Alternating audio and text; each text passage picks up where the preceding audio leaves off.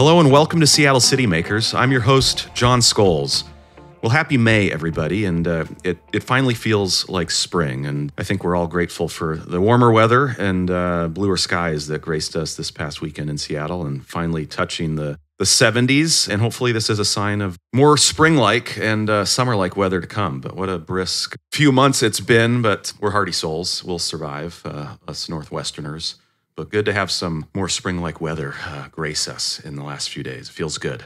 Well, welcome to today's episode where I sit down with Marc Dones, who's the new CEO of the King County Regional Homelessness Authority, the first CEO of this authority that was created in December of 2019 by local governments within our community to be the central clearinghouse and entity responsible for our community's response to the crisis of homelessness and a crisis that was with us prior to the pandemic and a crisis that in many ways uh, the pandemic has exacerbated. The authority is beginning to stand up its efforts and take responsibility and ownership of uh, contracts for housing and services within our community and to really coordinate and lead the response and the interventions to bring more people off the streets in Seattle and in other parts of King County. Marc Dones took over the role as CEO in April of 2021, was the consultant that uh, was hired back in 2018 to design the authority. Didn't want the job originally, uh, but ended up applying and was hired uh, about a year ago. And uh, Marc and their team have been building the infrastructure in the organization and have uh, recently announced that their first area of focus uh, will be addressing the crisis in downtown Seattle, a crisis where we have roughly 800 people in the greater downtown uh, living unsheltered on the streets and in other public areas, a concentration of individuals experiencing homelessness that is greater than any other community within King County. And back in February, uh, Marc and their team, along with the philanthropic sector and a number of private companies, announced a new effort, Partnership for Zero, to scale up a response to the crisis in downtown. We talk about that and much, much more in our conversation from the Yesler building in downtown Seattle, the new home and offices of the King County Regional Homelessness Authority. Hope you enjoy my conversation with Marc Dones.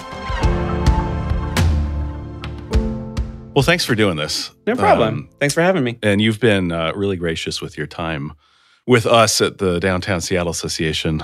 I got I COVID think, at one of the things that I was gracious with my time with. Uh oh. Yeah, I got it at the one of the in-person gatherings. Yeah. Yeah. Because and then I couldn't go to the regional leadership conference. That's right. You were supposed to be up there, and yeah. you were on the bill, and I was. I made it. Oh. Did you take a test? I didn't have COVID. I didn't have COVID, but thank thank goodness for our vaccines. Right. That is true. How have your COVID experiences been? I so I've had it twice this year. One time I caught it working a shelter shift, and uh, the other time I I caught it, you know, public speaking. Which I mean, you know, as far as like reasons to catch it, both solid. First time definitely worse. I'm sorry, second time worse than the first. Like, I think mm. like if I'm understanding what I'm reading correctly, then like it has to do with strains. Like it's not actually like it's just like the flu, right? Where it's like, yeah. you know, you get vaccinated and you hope that like your vaccine is for the right strains. And like a little bit of that is just statistical modeling and what are the strains going to be. So I think, you know, when I uh, caught it again, it was just a different strain. And that one, that one felt like like like a really significant like chest cold, you mm-hmm. know. But I felt, I mean, you know, vaccines, right? I didn't go to the hospital. Yep. And I'm here right now. They're working. like so like yay vaccines. yeah, I think one of the most underappreciated scientific discoveries of our time were those are those vaccines because they're they continue to do amazing work and we've gotten it but neither you nor I have had to go to the hospital. And I think that's the thing that people and lots of other people don't like fully grasp, right? Because people are still like, oh, I got it. So the yeah, vaccine doesn't yeah. work. And it's like, but you didn't go to the hospital. Yeah. Like that's actually the thing we're trying to stave off, right? Is like, yep. If you can get if you can get it and then lay at home in your bed and get better, everything worked as designed. Dr. Vin Gupta in episode four, just to plug some previous guests, uh, talks a little bit about that. I think episode oh. four episode three, four, one of those. But we're grateful you're here. Uh, we owe you extra for your appearance at the State of Downtown, where it sounds as though you got COVID. And we thank you in advance for your appearance virtually on an event we're doing in a couple of weeks Oh, that's right. where Yeah. you shouldn't get COVID at that one, I don't think. Well, Okay. If I do, it would be my own fault. it could be. So before we jump in, I mean, you've been in Seattle a little over, or a little less than a year in the role, a little over a year. Yep. What are you enjoying about the city? What's your Seattle story about just moving to a new place in the middle of a pandemic with a big job? I love this city. I love this region. And I wouldn't have taken this job if that wasn't already true. Did you know Seattle fairly well before you ventured out from Ohio? I wouldn't say I knew it fairly well, but I like when I was doing the design work, I spent a lot of time here, Yeah. right? The design of the the Regional Homelessness Authority. Yes. Yeah. Um, and I I would say that like I had definitely developed uh, like a pre-pandemic like walking knowledge, right? Like I I knew downtown. I was I was living in Belltown actually, like half time. And then, you know, I knew Capitol Hill, like I, you know, I had neighborhood understandings of those of those places. And then I just think that there's something like, you know, from like Portland to Vancouver, like something magical is happening. And like you just know that. Like as soon as you like look out a window, I mean, my office like looks out, you know, and you can see portions of the sound and the mountains, right? Yeah. And so it's like, you know, there's there's something humbling and stabilizing about that view to be like, my problems are small. These things are ancient and will outlive all of us, Yeah. right? Um, We're still feeling the frontier here, you know? Right. And I think, you know, so so in that aspect, like moving here has been has been fantastic. Like I I um am really looking forward to to more spring, more summer, It's seeing more not stuff usually with my this partner. bad. I know. It's not usually this And I've had to say that to my partner too. Cause, you know, anyone who spends any time in Seattle is like, wait until spring, summer. Like these Yeah. months are beautiful. And so I keep, pro- I've promised May a lot and now I'm having to promise June. So move the ball. no, June's going to be great. Yeah. June's going to be great. yeah, it'll be fantastic. And if not, July 5th. yeah. Yeah, even for those of us that have lived here a while, this has been a tough spring. I read But- it's La Nina. I don't know what it is. This Is is that- cold and blustery. Yeah, I Yeah. read I read that like there's a, a La Nina, which I, I believe is when the ocean is colder, and La Nino or El Nino rather is when it is warmer. Yeah, I think all bad weather gets blamed on one of those, though. It's just Yeah. like, you know, we're out of sorts one way or the other. I said that to my partner, and he said, "Don't they happen every year?" And I was like, "No, I don't know, actually." I'm still holding out hope for the summer, though. We're going to have a great summer. I think so too. I've noticed even in the last couple days, like when I'm heading down to Pioneer Square, things like that, like people are out more already, um, and that's really nice to see. What's your sense of the hill? I mean, the hill doesn't stop. From what I can tell, it- only had like a couple significant closures over the course of the pandemic. Like, you know, it's it's bars and restaurants and and you know, people are out. Yeah. We're, all, Um, we're all still eating and drinking and yeah. going to hear music. And yeah, yeah. yeah, it seemed like a neighborhood that bounced back a little faster than some of some of our other ones, but good to see people out generally kind of all over Yeah. the city. So a year into the role, and it was one that you sort of designed, or you, you designed the authority, and then the authority needed a CEO, but it was a role you didn't want. Do I have that right originally? That's correct. Yeah. Yeah. I When did, when, when did you decide you wanted the, the responsibility? What changed? December 2020, it would have been. I just saw, you know, the agency had essentially been wireframed and put on a shelf. I tuned into a couple board meetings and was like, oh no. I think want is a str- strong word, but I think I, I felt really strongly like, you know, the community had put a lot of work into the design of the agency, the priorities Mhm. of the agency. There was a real shot at doing something different, at being um, successful at um, you know our community's, I would say, most pressing problem.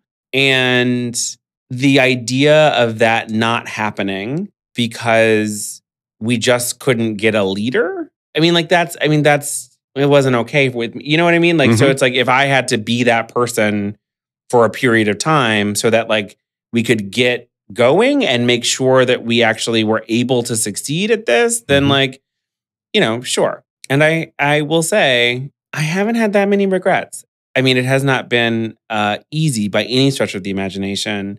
But how many people get to do a government startup, like a Mhm, real government mhm. startup? I was talking with our chief administrative officer the other day, and like, I don't think people realize how much of a startup we were. Like, we stopped using public internet in December. You're off on your own. Yeah, like Go find your own internet. yeah. provider, I mean, yeah. but like it, the we are running a startup out of sort of somebody's garage vibe. Yeah. it was like very strong for a couple months Yeah. there, but it's been good. What don't people understand about this issue? I mean, it's, so it's a top issue in the city, right? And you, you're well aware of that, and others are too. You know, you do all kinds of research and polling, and it's the issue that gives you most concern is this one on the top of minds of voters. And so there's all this talk about it. It's it's whether it's in your own neighborhood or in the press with elected officials. But what do you think people miss about understanding the issue and the crisis of homelessness? what people miss is just the base economics, right? Like, I think people forget that it is possible to have a significant psychiatric condition and not lose your housing because you have enough money to stay housed, right? Like, and that for the vast majority of folks who are experiencing homelessness, the story into homelessness is just economics. There are many things that might have happened after that, including the onset of psychiatric conditions. We often see um, the trauma of homelessness causes psychotic breaks and other things, right? Causes substance use. You know, I've talked with a number of people who start using meth as a safety thing, right? Like Mm. they they uh, literally are like, I needed to figure out a way to stay up all night so I was safe, and meth will do that. Safe being out on the on the Mhm. streets. Yep. Yeah. Uh, so that they don't get victimized by um, by some of our actual criminal element, right? And you know, but the economics are are often the precursor, and I, I would say that is true in in truly like ninety percent of of cases, and we really misunderstand the economic help that is available, right? So we have over indexed on a system that offers a lot of subclinical supports. And you know you and I have had long conversations about the need to have true clinical support right um, but currently we have a lot of of um, you know case management not a lot of you know actual like diagnostic and then you know here is the medicine that you need Mhm. et cetera and um, we don't have the economic pathways that people need. And I don't just mean jobs, although certainly for some folks, uh, workforce development and employment strategies are, are going to be key. But many of the folks who are experiencing homelessness are currently employed, they're just underemployed, right? Um, and that's about a broader economic framework. Um, we also see, um, you know, I was uh, just writing up my my budget memo for FY23, and one of the things that we note there is that you know a lot of folks who are experiencing homelessness with vehicles, um, particularly cars and RVs, right, are older, Mhm. um, and some of uh, those folks, you know, will talk about how they enter into homelessness and choose uh, uh, vehicular homelessness because the shelters, you know, are uh, not humane. Um, although we're doing work to to transform that, and you know they've got SSI or disability or something, and it's just it's never going to pay the rent. It'll pay for gas though, Mhm. right? Mhm. So like so so people make the choices that are left to them.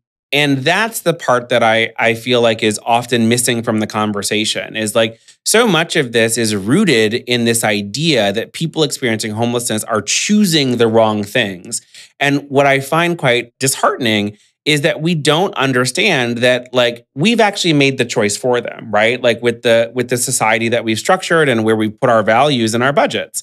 And we could choose differently, but it would have to be a choice. Mhm. And we'd all have to make it. Well, and speaking of doing things differently, I mean, the RHA that you're leading is really intended to take a different approach. How would you characterize for maybe the cynical public? What's different? What's the essence that's different in in the approach that the RHA is taking than what we've been doing? I think um, two things are are really different, and the first I would say is you know the the real uh, centering and elevation of lived expertise. And I've had um, housing instability. I've been involuntarily hospitalized twice. About fifty percent of the staff here has lived experience. Um, we partner with the Lived Experience Coalition on like everything that we do, and there's a way that that gets understood as like an an ethical thing or a moral thing um, you know, sort of like, you know, nothing about us without us. And all that is important. From my perspective, what we really need to be saying when we say, and there's a reason why I say, you know, lived expertise instead of just lived experience, although I think both of those are important, is that there are things that I know how to do because of those things I have experienced, Mhm. right? Like, I know how to design a program that like centers healing through dignity because I've been in one that did that and one that didn't. And I know, and like I can literally point to the architectural differences mm. in program that like created that sense of of um, how to move forward, how to uh, heal. And many of us um, who've been in some of those, you know, more unpleasant spaces carry with us that same ability to rather quickly diagnose and redesign mm-hmm. something so that it can function in a different way. And then the second thing is just like data. Like uh, like I'm a social scientist, like much of my team um, you know, comes from a uh, a lot of them come actually from the provider space. Um, you know, my chief program officer has been doing public administration for like, you know, 30-ish years. Like we're a very data-driven shop. And so our first question whenever we look at something is not like how do I feel about it, but like what does the data say about mm-hmm. this? Um, and so when we are uh, when we feel uh, you know when we lift up something or when we say like maybe take a pause on that, there is always going to be like a, a a dashboard or you know some statistics or some like you know what is the cost per exit? Like those are all things that like if anyone asks us like well why aren't you a big fan of this model? Like we can just rattle those things off right? Um, and so I think it's really important that, like, you know, as we move forward with redesigning the system, we do it based on best practices that we know work and where we need to you know be innovative or where we need to sort of drive towards something that is emergent the data should take us there rather than our feelings how do you how do you determine though i hear you on the importance of data but how do you determine what data matters most, right? I mean, the public is out there saying frustrated and impatient, and why aren't we making more progress? And we keep voting for to spend more money, and we're generous with our investment, and and they're sort of calling on a more urgent response, both for their own interests and the health of their neighborhood or park, but mm-hmm. I think mm-hmm. also given who Se- Seattleites are, they they're compassionate bunch, and they want to see folks struggling in the park or on the sidewalk uh, in a better situation than they've seen them in for many months or years. So, how do you square sort of the public's desire for a more urgent response and then a set of data metrics and criteria that you could construct that could tell you all sorts of things, but maybe doesn't align with the public's interest and objective? I mean, we can just cut right to the debate on tiny homes, right? Yeah. I mean, so there's been a conversation in the press over the last couple of weeks, and you all have had perspective, and other folks who are producing tiny homes and running villages have had perspectives. And it's sort of centered to some degree on the issue that, you know, I was noting of this what's the criteria and the set of data that we're holding up as most important? So, from my perspective, and I, I think from the perspective of this team, like you always have to weave two things together in order to understand what matters, right? There's the quantitative uh, data that you can get when you say, like, what's the length of stay? how long does this cost versus this other thing like you know that those are are pretty standard administrative ways to like sort of look at a program and mm-hmm. analyze its efficacy but then you also have to include and this is i think where again i think we're different and maybe also in part because i'm an anthropologist but also i think because of you know what the ila says and and how we're sort of authored into existence there's this question of like how do people experience this thing right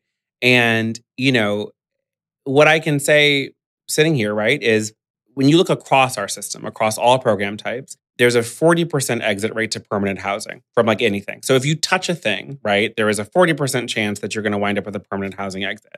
60% do not exit to permanent housing. Not fantastic.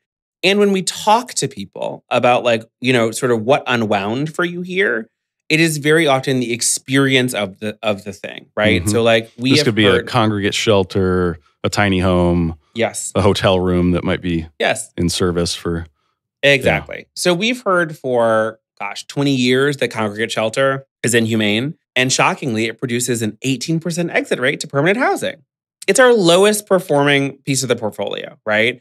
So it's like so if if 15 years ago, 17 years ago, we had just listened to what people said about the thing, we wouldn't have spent. It's also, you know, it is the largest expenditure in our entire portfolio, hmm. also, right? So if we had just listened to people back when they said this is inhumane, it is disincentivizing to use, I don't feel safe here, like all those things, cus- right? Listen to the customer and the client of folks who Exactly. are using it. Yeah. then then which is how every other you know how, that's how the private sector runs everything that is Mhm. successful is they just kind of listen to what people say and then they do that thing right for whatever reason you know this part of the public sector has been exempt from that and the the results are quite clear right like you take something that people all say they hate you look at how it performs and it's the lowest performing thing and you know what i understand to be true is that the tiny homes uh, were the only non-congregate option for uh, you know five six years, right? So their popularity, I think, is in line with the fact that there was nothing else happening, right? What I now, you know, uh, not now believe to be true. What I what I simply just believe to be true is that like the pandemic has changed a lot of things, and one of those things is how we can do shelter. And so we now have other ways to produce non-congregate shelter through hotel motel acquisition, through SRO, through Mhm. um, you know uh, retrofitting of uh, existing spaces that have served other uh, needs, et cetera, et cetera. And as uh, what we hear now, right, when we talk to folks, is hotel room or tiny home, right? People are smart. They'll choose the thing that is the most dignity based for them. And so, you know, what what I would say is that the question is not should we do more tiny homes? The question is should we only do more Mhm. tiny homes? And this I think is the thing that I've I've been a little frustrated by is that my reticence to expand tiny homes by a, a, a factor of 10, like a, add a thousand more of them Mhm. to the system, has not been rooted in, and we shouldn't open anything else, right?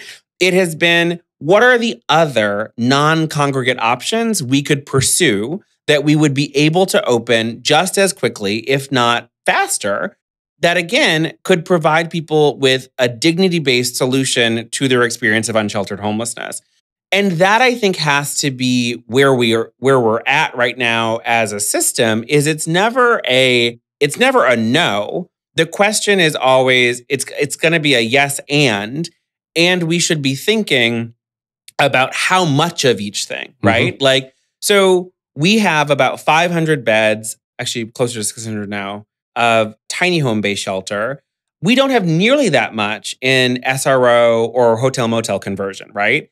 So, what I think we need to be focused on is ramping up that kind of non congregate shelter as Mhm. well, right? We need to be focused on ramping up high acuity supports. Like there are there are things we need to be focused uh, on bringing online and scaling, and that's the kind of uh, conversation we need to be having. So, so it's not a uh, a desire to not open more. And we just funded two villages and then a third, right? Like the answer is not no here, Just right? level of emphasis. It's a level of emphasis. Yeah. And you think we move away completely from the congregate shelter model, or is there still a role for the you know the hundred person shelter with bunk beds that you might just be there for a night or two? Although history has said you know people are there for Much longer. m- much much much longer. Yeah. But do you think does that go completely away because of what we've learned during the pandemic and all that you've said of hey, it's not the preferred place that people want to be, and they're probably going to choose the tent or the sidewalk, and for a lot of different reasons instead of that. I think over the next uh, several years, we move towards that going almost entirely away. Right? Not immediately. We need to we need to phase out of it. We need to recognize that in the immediate, it's no longer medically safe. Right? So like even uh, even the congregate spaces that do still operate have to be de de intensified. Right? So the number of people who can be there is significantly lower. But I do think ultimately that is a shelter type that that we phase out over the next couple years. I think you know one thing that you said, I, which is the the reason why I would say we you know would maintain a small stock of it is there's always a thing you need the night of, right? Like Mhm. You know your house burns down and we don't have anything for you the night of. We need some place for you that night.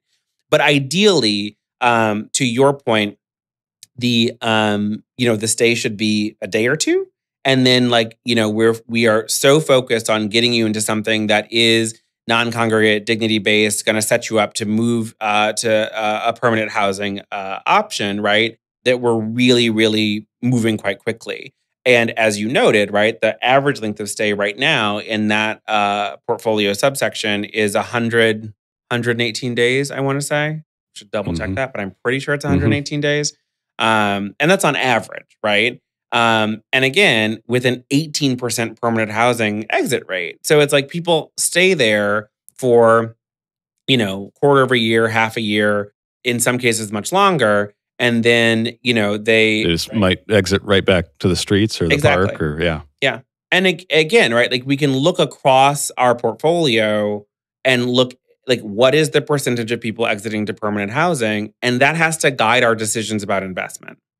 Do you attribute the reliance on congregate shelter to some of the slow progress we've made in this region and in, in demonstrating results around this issue on the street? Have we been sort of over over invested and over indexed to congregate shelter over the last, you know, five, ten years? I think it's a really good question, and and to be honest, I my perspective is that it's not about this community; it's about our national inability to reconcile like our our values with our housing market and whether or not we have those values. Right? To be honest, because we talk a good game about how homelessness shouldn't exist, but we don't invest the way that we should. Mhm. Right? I mean, you know, our final budget for uh, this fiscal year was around 170 million dollars when you factored in, you know, COVID relief money and philanthropic stuff and and our partnership for zero work. Right? It was the McKinsey analysis that noted that we needed to be spending somewhere between 450 million and 1.1 billion annually On housing production. in order to yes Yeah. between between the homelessness services and the housing production. That was the combined figure right? Um and that we needed to be doing that every year in order to get out of the hole that we're in right? Now i think there's a lot to be said about like can our revenue streams even create that amount of money? And the answer is no. Not dedicated anyway like every city and many of the large counties and you know are, are wrestling with this same issue um, and it's because we're you know 30 to 40 years behind the eight ball at sort of like not doing it right? And instead what we have done uh, and again this is not just uh, king county but we have repeatedly stood up these these uh, large congregate options and said like this is where you can go. Um, and i guess my perspective you know sort of locks in it i'm i'm just concerned that we i don't think we like poor people in this country you know? And like and i say that as a person who like i you know i always say i have a reverse cinderella story like i had a lot of money until i was 10 and, and then we lost it um, and i spent a lot of my teen years um, like literally ducking behind furniture with my mom to hide from from repo men right? Um, uh, I watched them tow away uh, our car um, and worry how I was going to get to school in the morning. Right? Like th- that is like I have I have lived through that experience. I have lived through couch surfing because I didn't have anywhere to be, and I have never stayed in a shelter because I knew without knowing. I mean, I wasn't working in homelessness then. I just knew that was like gonna be bad, Mhm. right? Um, and so I think that this this for me this this question um, of uh, how can we do better? You know, again, it, like the the centering people with lived expertise is is not just about like uh, this moral thing, but it is about like how do we build better stuff, even with the revenue that we have. And we have built congregate things that are not dignity based, that are humiliating to be in, that are often uh, have intense rates of violence in them. And then we kind of said we don't care. Mhm. And we've done that for 30 years. It's no a- provider's fault. It is just, it is the policy decision we have made. and it took a pandemic in many ways to sort of shake all that up, right? Yep. And so you've um, you've said you're going to focus uh, initially on the crisis in downtown Seattle, where we've got 800 or so folks living unsheltered, uh, 800 folks in the greater downtown at least living unsheltered, and a majority of those folks on the street more than more than a year and dealing with substance use and mental health, other behavioral health issues and you you noted earlier, partnership for zero is sort of what you're terming it um, in this neighborhood, and then other neighborhoods where you'd replicate it. What's what kind of status report can you give us on on sort of where that effort stands? Uh, we've hired um, four uh, co-directors of what um, our peer navigation program, which will is actually uh, has undergone its own branding. So those are now called our our system advocates. We've also got a operations and policy director. Um, and I sent an email this morning to schedule a meeting to review um, I think 10 or 15 candidates who are um, uh, the top uh, selections to become team leads. Um, and then we'll hire out the the teams themselves.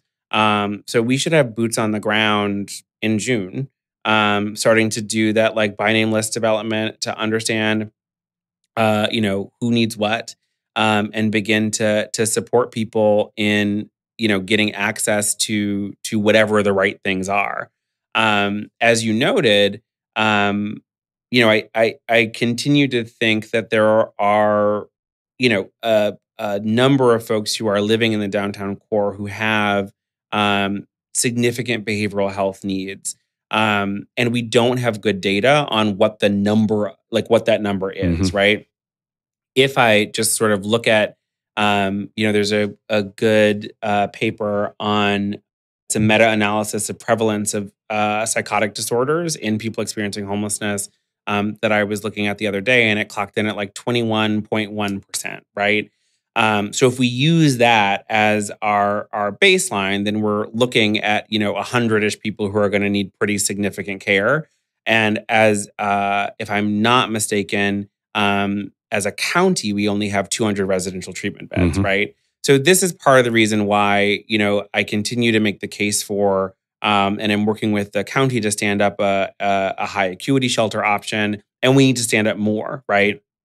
The future of services for folks experiencing homelessness in this region has to be differentiated. Um, and when I say that, what I mean is like you should be able to get the right service type for whatever you need, Yeah. right? And currently, what folks uh, essentially move through is, a, you know, you you're uh, unsheltered, you can go to shelter, and then you go to PSH, right? That's kind. It's kind of like Permanent supportive housing Yes. for yeah. that's kind of all we got.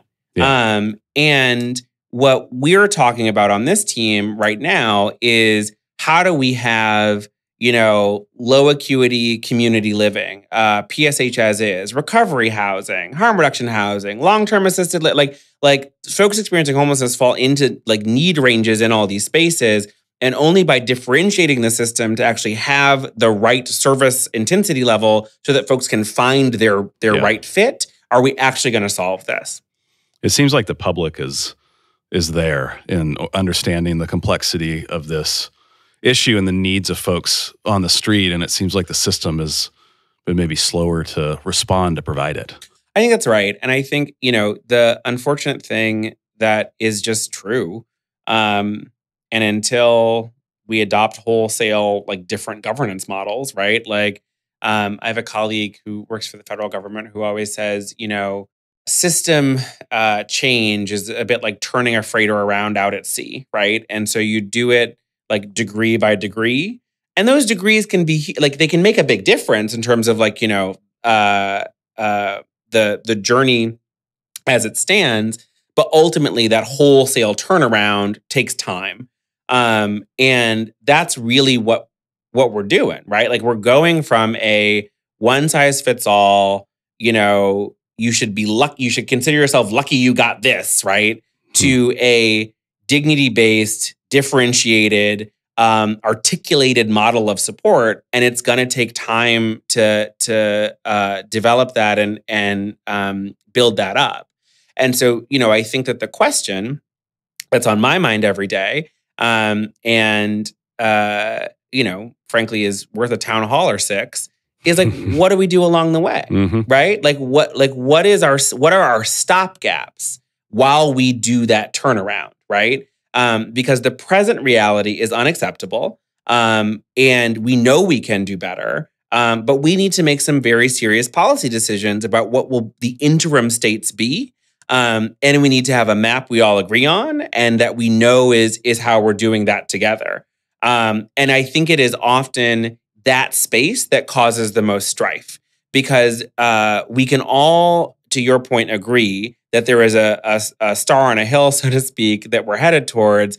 But what is between now and then Mm-hmm. is where we fall apart. and everybody's impatient. Le- least of all the folks suffering outside, right? That have Yes. been waiting for some time. Would you characterize that shift as sort of one from we're sacrificing some amount of quantity for quality in what we're able to offer, and we've sort of over-indexed to the the quantity of hey, we can help a lot of people that at the downtown big congregate shelter for you know 300 people we can pack in there, mm. but we're not going to move a lot of them into permanent supportive housing. A lot of them are going to be there for several months, and they might most of them might probably just end up back on the streets. Are we are we making a conscious choice to sort of sacrifice a bit of quantity as far as spaces for quality ones that may have better long term impacts for folks? That's a, a really good question. To be honest, and not to be rude, I- don't know that we're even sacrificing quantity for quality because as I, I've looked at the data and, you know, from um, 2018 to now, the bed contraction that COVID generated was, I mean, there was a bed contraction, but it wasn't massive. It wasn't like, it, you know, it wasn't like we lost thousands of beds. Mhm. We did lose a couple hundred, and then we were rapidly able to Yeah. gain them back, Yeah. right? So I think this is one of those things where it really is just a question of like, how creative have we been? And like, what, you know, again, like, what is the level of dignity that we're trying to design around, right? Because, like, you know, for the same cost as, you know, opening some of the, the, uh, shelters that that we are familiar with, I can master lease a hotel. It's the same amount of money. It's just what we've allowed ourselves to think is possible, right?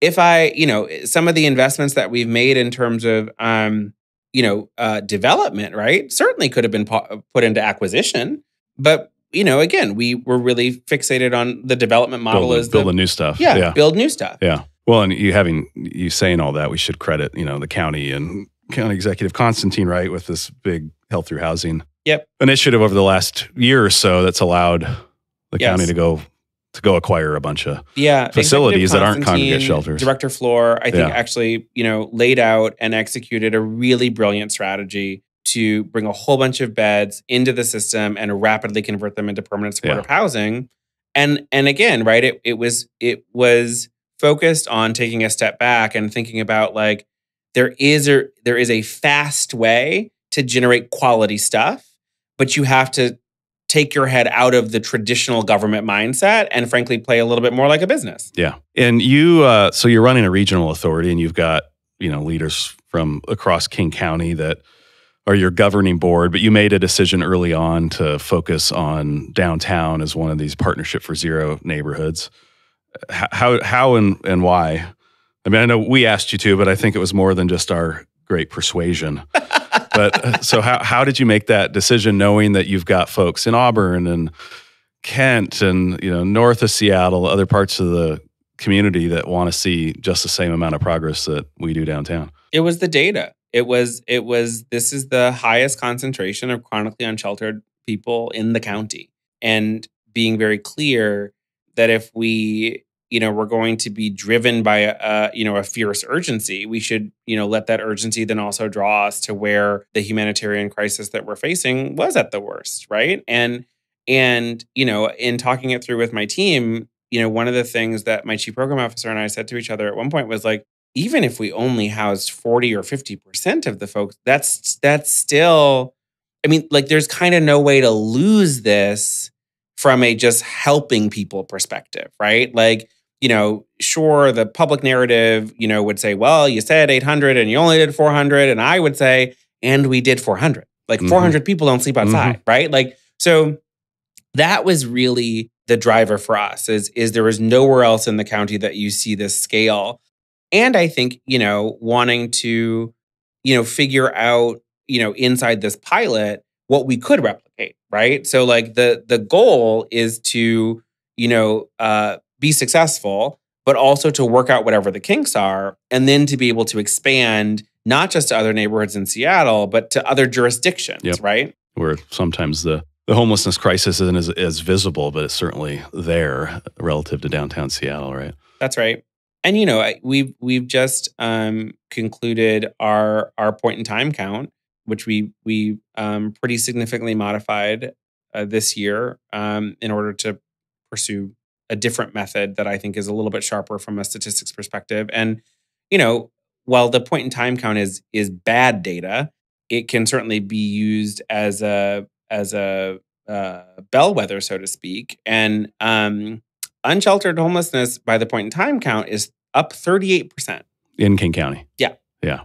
And how is that done differently now than it used to be done? There, uh, am I correct that there's some changes in kind of the methodology to how we understand and Yeah. account for who's outside? So we made some pretty significant uh, methods uh, changes. Um, and so we used um, a method called respondent driven sampling, which, you know, is a method where you, um, you know, if I interviewed uh, or if I, you know, connect with you, Jon, then I ask you to refer in three people, right? And then I ask those three people to refer in three people, right? So each wave in the sample gets larger and our our goal right um, was to you know by wave three four be talking to people who were experiencing unsheltered homelessness and also didn't really use services Hmm. because the other thing we attached to this was a, a qualitative dimension where we collected oral histories from all these folks right so we uh, set up nine hubs across the county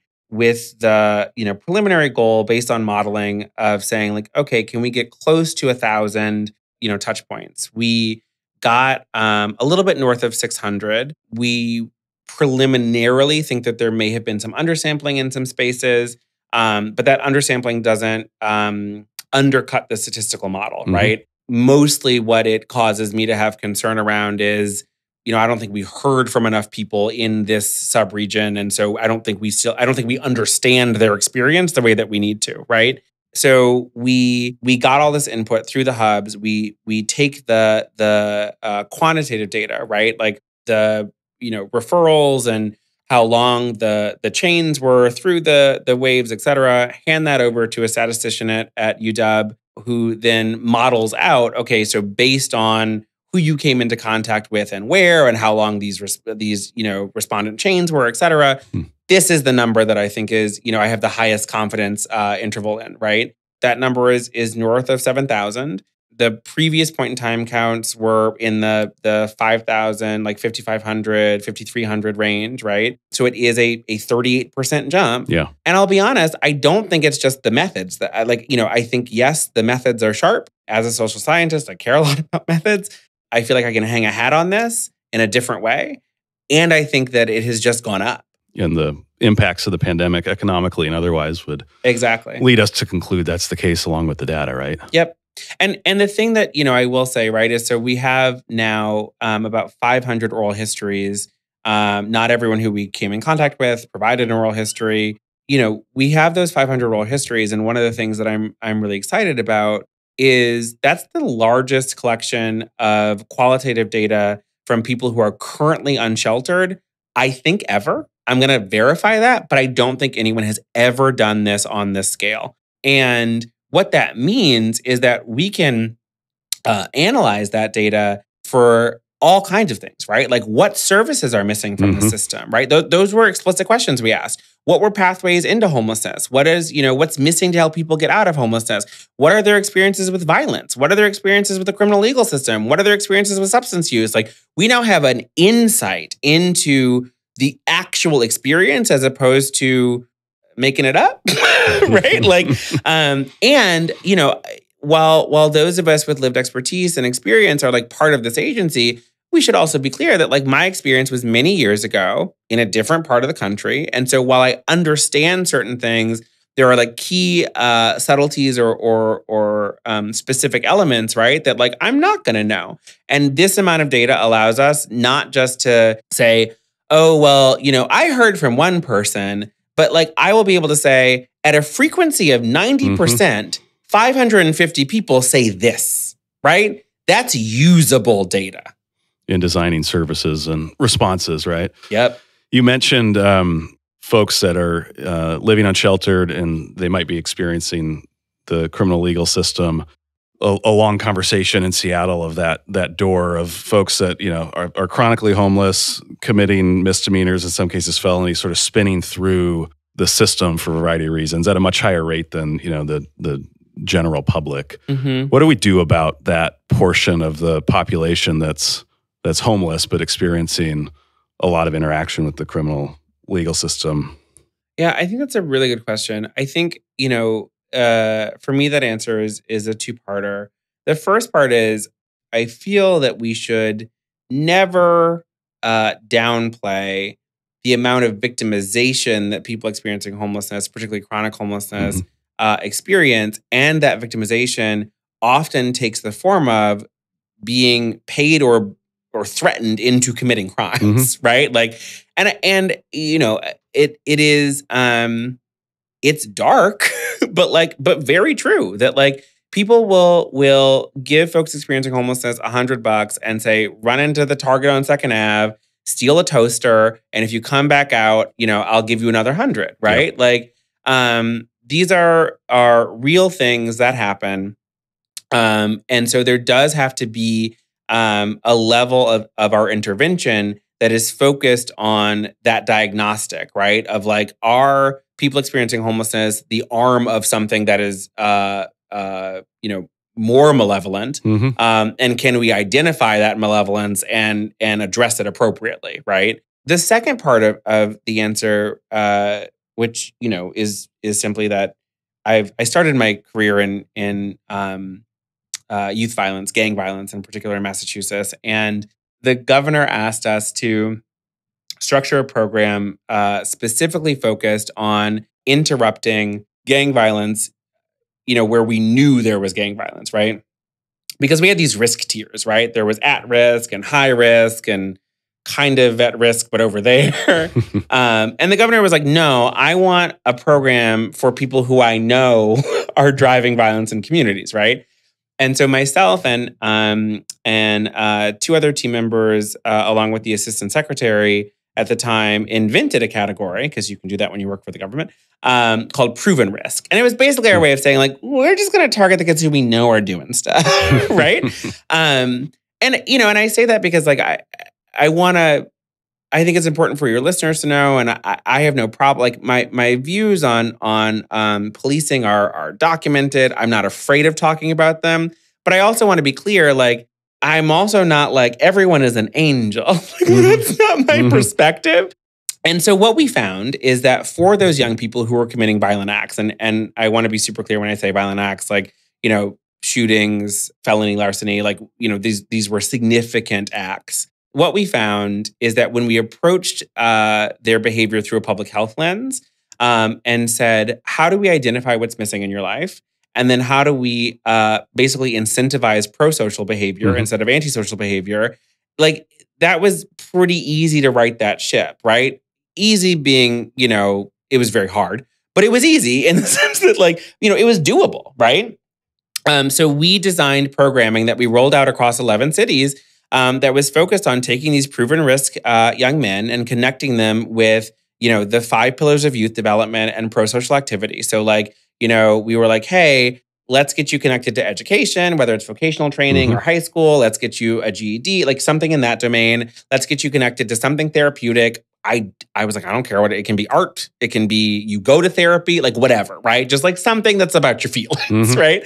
Let's make sure that your housing is set. Let's like talk about food, right? Like let's talk about like connection to caring adults, like and and when we started looking at those domains uh, and then incentivizing them, and that was the other thing, right? Is like we we would offer young people a stipend for program participation, right? So it's like we we acknowledge like, hey, you don't have any money. And a lot of this is because you don't have access mm-hmm. to the economic uh, connection, right? So we we would provide a stipend for you to go to Voc Tech, right? And then you graduate, you're a journeyman, you don't need the stipend anymore. But providing the stipend kept you out of the gang while you were doing that, right? Because what we didn't recognize is that the gang was a job.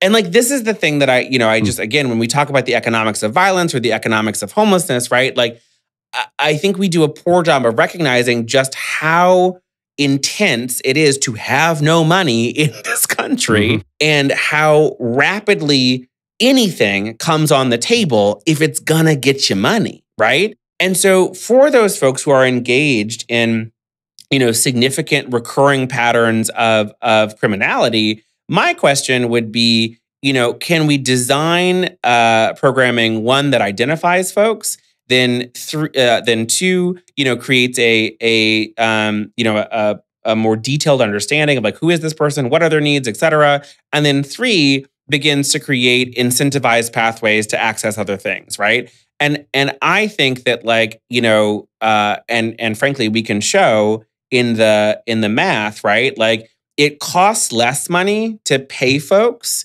to to go to Voc Tech to access therapy to you know set them up to re-engage with pro-social dimensions of mm-hmm. society than it costs to run them through the criminal legal system six ways to Sunday over and over and over and over and over again, right? So that would be my suggestion there. You know, we have a limited role there. I think that, you know, we can certainly through support of uh, some of the the folks that we fund, right, like begin to intervene but you know much of that will require and i look forward to some of these partnerships right like partnership with prosecuting attorney, city attorney's office, et cetera. And once we are a little bit more stable inside our portfolio and our our you know our stuff is headed in the direction we want it to go, we'll start making some of those partnerships more active. Well, the word that stood out to me is intervene versus ignore, which is in some ways what we've been doing for many years is just sort of ignoring it versus trying to understand and diagnose and intervene in some appropriate way to change the behavior and in some cases the impact that some folks are having on themselves and the neighborhood or yeah. the small business or whatever. We dropped non-fatal shootings in um, a plurality of our communities by above 60%. Ju- just mm-hmm. by taking a very narrow, a narrow and focused look at who was driving mm-hmm. the activity mm-hmm. and then saying, how do we assist them with the underlying issues here? A smart application of resources. It sounds like. So as we uh, as we wrap up, and and since this is kind of a uh, there's a milestone question I get asked because you have been in the role a year. What's uh what's uh your proudest moment in sort of in starting to build this startup, and what's a lesson learned from this last year that you'll carry forward, a leadership lesson? Really good question. um, I think my proudest moments, if I can choose two, were the two severe weather incidents because they happened right after we took formal control, right? So like January 1, like yes, we we I started building everything April 26th of 2021, but we didn't take formal control of the system, the money, the contracts, the all that the the stuff until January uh, of this year. Um, and we took formal control during a significant weather incident, right? It was that that uh, week of of are we in Alaska, where you yeah. know it was like the 20s during the day and it would plunge uh, into the the teens and single digits at night and we had significant wind and uh, and then uh, I think like three weeks later we had another severe weather incident and all of that was happening during the COVID surge mm-hmm. and so it was just it was a real like that entire time was like just trial by fire mm-hmm. right it was like there was no time to analyze a thing. There was it was you either know what you're about to do or you don't. And and I think we did a really good job. I you know, I think we could like we can always do better with severe weather.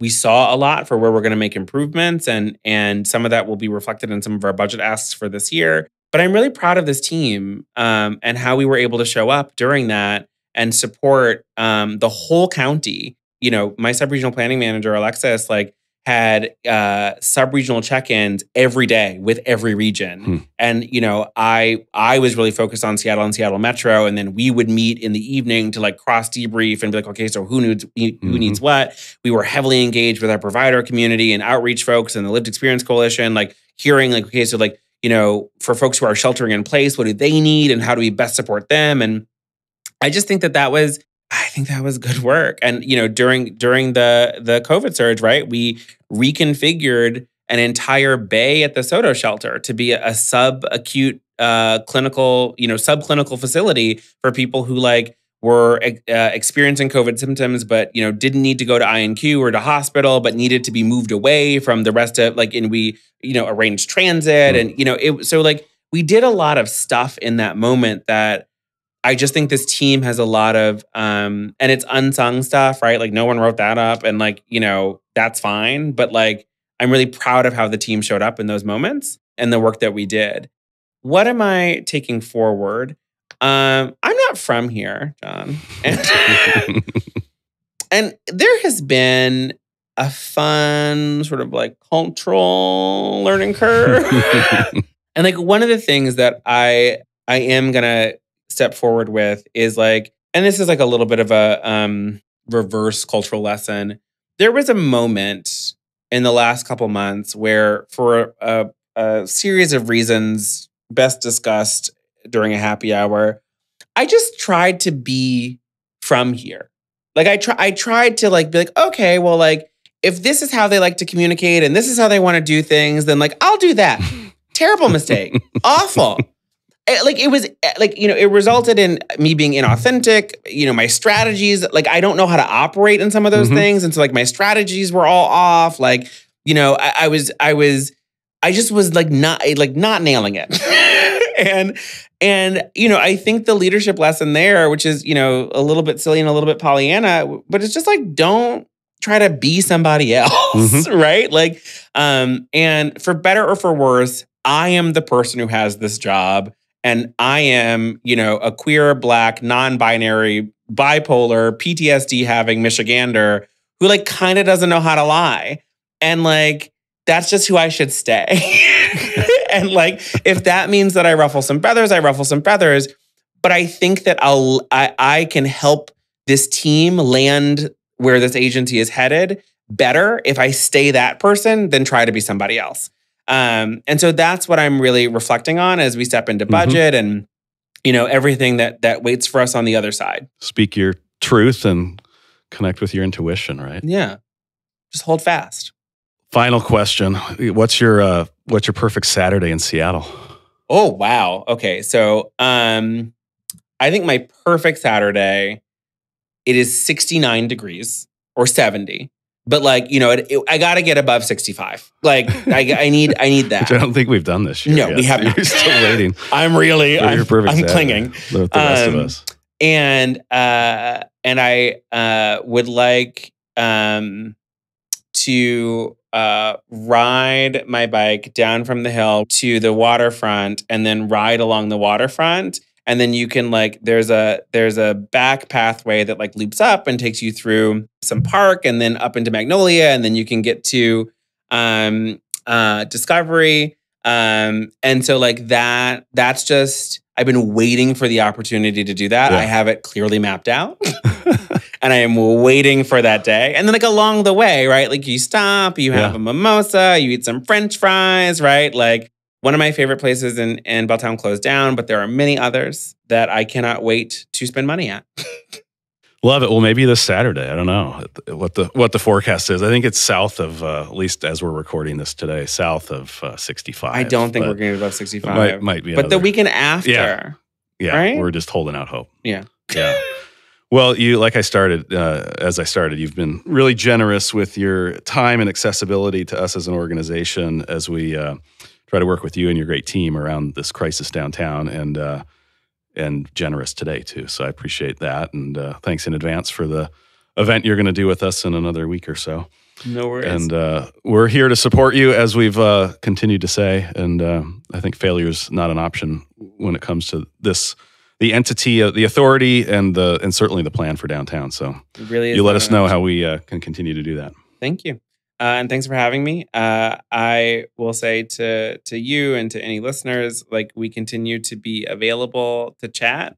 I am more afraid of people who don't know what we're doing than people who do. Like disagree with me, but disagree with me Yeah. about the real fact, Yeah. right? Like, so if you're listening to this and you want to talk, reach out.